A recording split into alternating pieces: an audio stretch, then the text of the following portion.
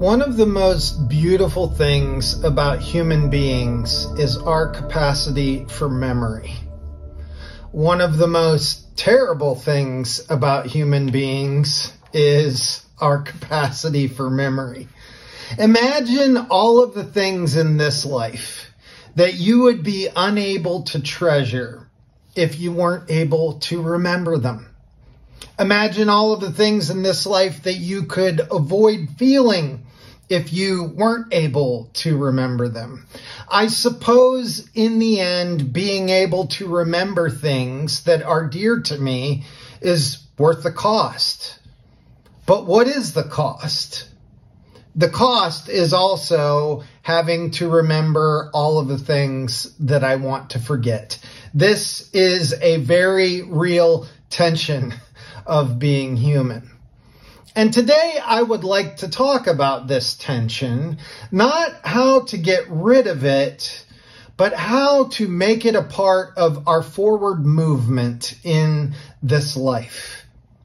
And this has a lot to do with us as individuals, yes, but it also has a lot to do with the friend circles and communities and collectives that we are a part of. Our scripture passage for today might be a familiar one to you, but likely not. But it is an important one when we are living in the always present tension between our past and our future. It's just six words. It reads, God's gifts and calling are irrevocable. Have you ever had thoughts like, there is no way that God loves me or is committed to me as much as God was before I fill in the blank or before I became fill in the blank? And that's why this verse is important because it clearly says to us that believing that way is just not how it is. And then there are, of course, people. And this is where the tension gets even more tricky, but even more beautiful if we can be humble and open ourselves up to grace from others. Will people hold your past against you? Yes, many of them will. But there are also many, many others who have learned the importance of second, third, fourth, and fifteen hundredth chances. God's gifts and calling are irrevocable. Irrevocable, the word means unable to be changed or reversed. It is the opposite of the word revoke. God never revokes the gifts and calling of our lives nor our lives together as a human community, as a species. And we either believe that and let it be the shaping mechanism in our lives moving forward, or we reject it and we slowly become slaves to our past. God's gifts and calling cannot be revoked. What if that is true?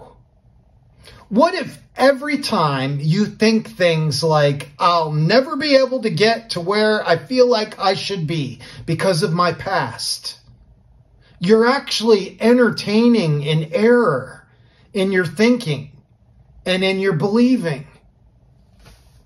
Do you have a past? Do you have regrets? Well, welcome to planet Earth. Welcome to our club. We all have jackets. I don't know if birds and hyenas go about their lives regretting their past. But I do know that humans do, and I do know that I do. We have entire industries in our world that are built on assisting people who are grappling with their regrets about their past. And I have those regrets too, just as many as anyone else. I look back over my life and I see a lot of healthy decisions that I've made. But in equal number, I look back on my life and I see all the unhealthy decisions too.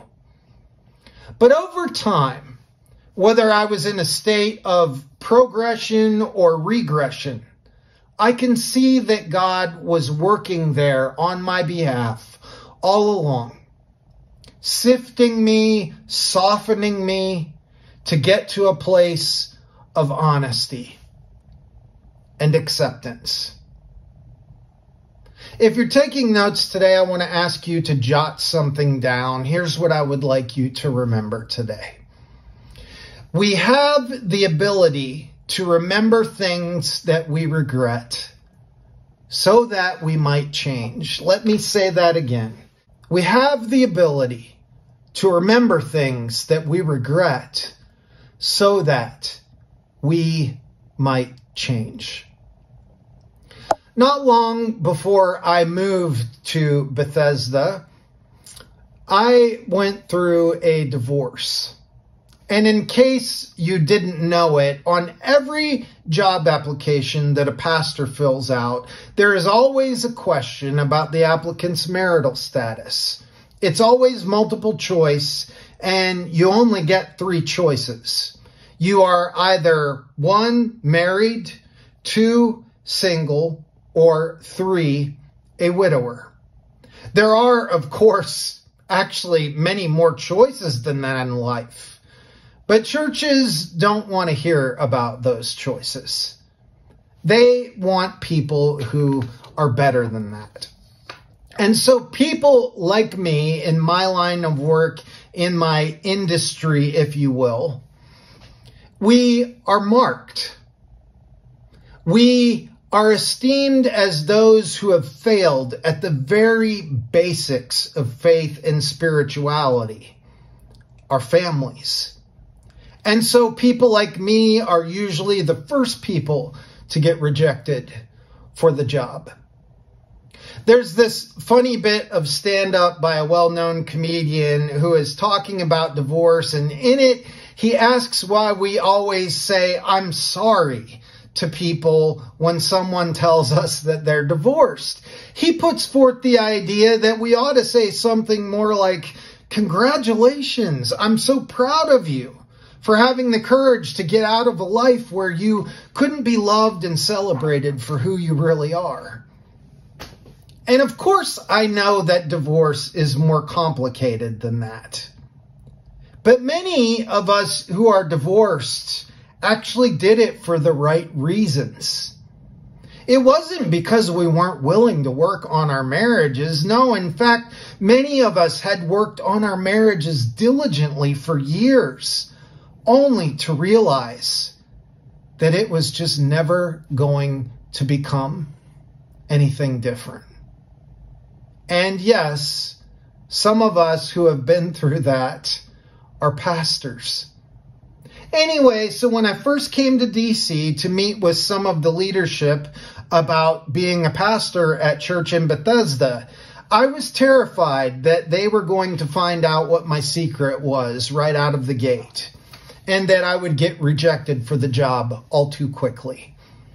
And one of the most refreshing batches of experiences in my life were in those very conversations. People would ask if I was married and I wasn't going to lie. I wasn't going to hide anything. So I would just answer, no, I'm divorced. And I share custody of two amazing kids with my ex. And at that moment, expecting to be shunned and discarded and judged, instead, I found that I was being treated with empathy the person sitting across from me would say something like, "Oh, yeah, I've I've been there. I understand. Me too." And hearing those words were like weights being lifted off of my soul. People who were actually willing to consider my version of my past because they had also been there.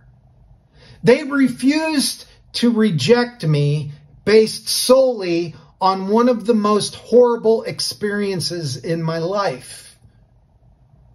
Because we are all more than just one experience. And in this, for the first time since my divorce, I found myself feeling strength. I found myself considering that even I might be capable again at my craft. That is what flowed into me from them. It gave me hope because honestly, I thought I was cursed. I thought I was shipwrecked and useless to the church any longer. And so this business about God refusing to revoke our gifts and calling is wonderful. But it also asks of us that we do the very same for other people. Why?